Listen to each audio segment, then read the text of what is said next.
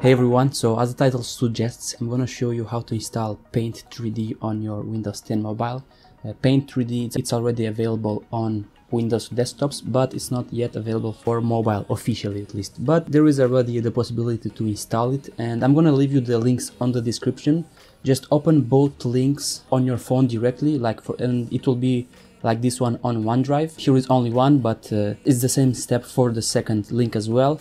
So when you open the link, just press on the file here, or uh, even when you open the link for the first time, it will ask you instantly to download it and just save the file on your uh, phone.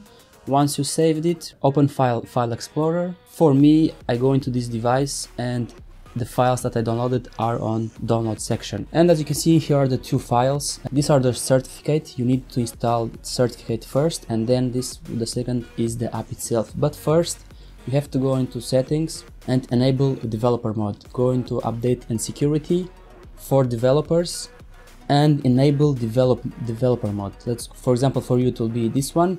Once you enable developer mode and it asks you turning turning on developer mode, blah blah blah press yes now you can go back go to file explorer press on the first file which is the certificate. It asks me if I want to install the certificate. Press install at the bottom.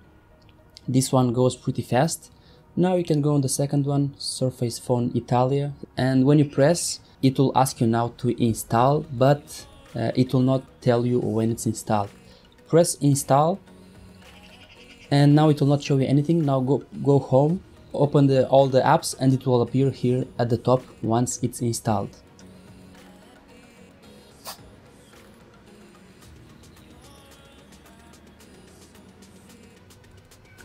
Okay, so the application got installed su successfully.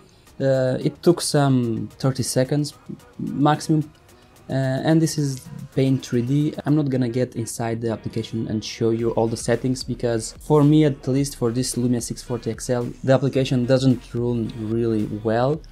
I'm gonna just show you fast here that, that it works but for my device like I said it doesn't work really well as you see I swiped and it takes some time to to appear on the screen it takes so much time but when you press on the settings it's more than fine but when trying to use paint then uh, it's really not that smooth at least for my device.